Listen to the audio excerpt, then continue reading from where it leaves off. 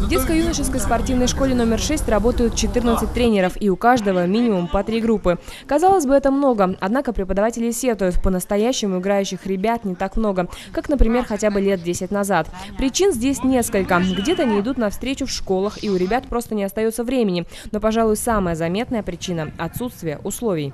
У нас вот буквально три поля с искусственным с покрытием полноразмерных, где можно заниматься именно футболом.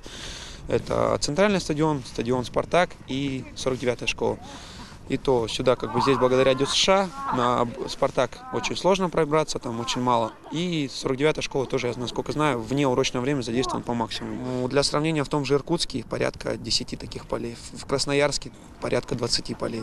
Сейчас у ребят должны быть тренировки как минимум 4 раза в неделю, но из-за загруженности поля получается, если повезет, собраться 3 раза в неделю. Поэтому на одном поле чаще всего занимаются сразу несколько групп. Тренировать их вместе не получается, разный возраст, однако наступающая зима выгоняет юных футболистов Улан-Удэ из таких открытых площадок. Зимой нам приходится заходить в спортзалы. У ДЮСШ у нашего нет своего спортзала.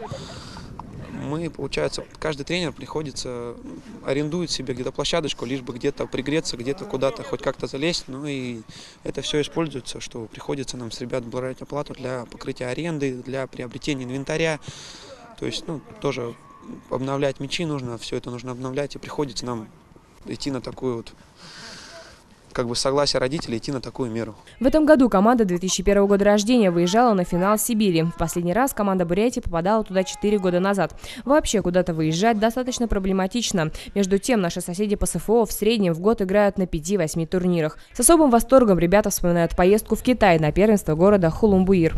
Мы думали, как, приедем туда просто на соревнования, а оказывается, что это международные соревнования у нас. Мы сделали все загранпаспорта, у кого не было.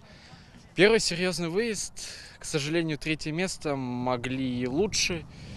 Ну а на соревнования так, смотря когда предложат, что сказать. Выезжаем, как правило, за свой счет.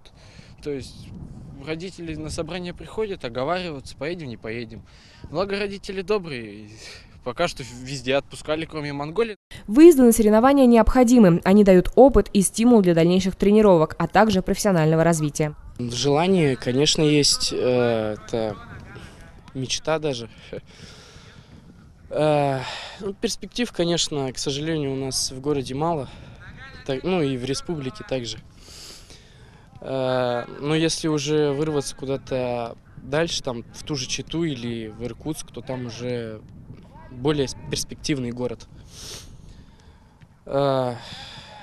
Ну, за то время, что я тренируюсь, я еще больше полюбил футбол, э, стал жить, дышать им. Дальше для них развития очень мало.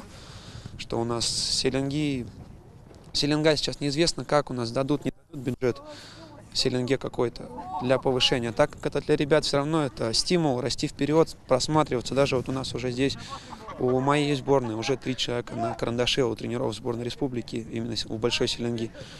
И как бы ребята на карандаше, но мы ничего им предложить не можем, мы ничего не можем пообещать. Неудивительно, что многие уезжают в другие регионы, и в этом плане даже соседняя Чита более перспективна. Аина Чертарова, Юрий Шабаганов, Первая альтернативная.